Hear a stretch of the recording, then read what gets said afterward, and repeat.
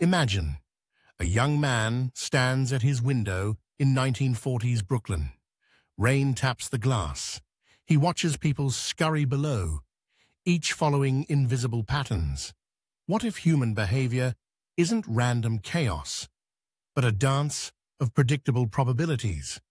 His fingers trace equations in the condensation, not about individuals, they're too chaotic, but about masses, billions across a galaxy. The thought crystallizes.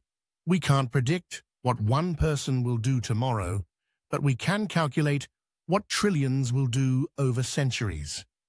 He turns to his typewriter. The keys click like a mathematical rhythm. This isn't just science fiction being born. It's Asimov creating psychohistory, the science of predicting the inevitable. And in that moment, he wasn't just writing foundation, he was building a mathematical model of humanity itself.